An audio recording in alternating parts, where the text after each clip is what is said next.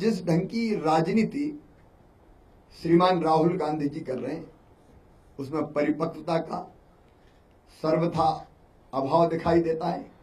कल ही मैंने कहीं मध्य प्रदेश में फ़ोटो देखे थे, बैलगाड़ी पे घूम रहे हैं। कहीं पैदल, कहीं बैलगाड़ी।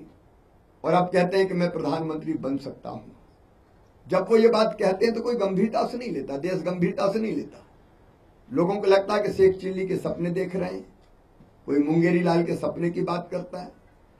गंभीर नेतृत्व कांग्रेस दे नहीं पाई। और सिद्धरमैया जी के बारे में मैं क्या बात करूँ? कभी अंग्रेज़ों ने फूट डालो और राज करो की नीति अपनाई थी। ये विकास को एजेंडा कभी मान नहीं पाए। सकारात्मक सकारात्मक राजनीति कभी की नहीं।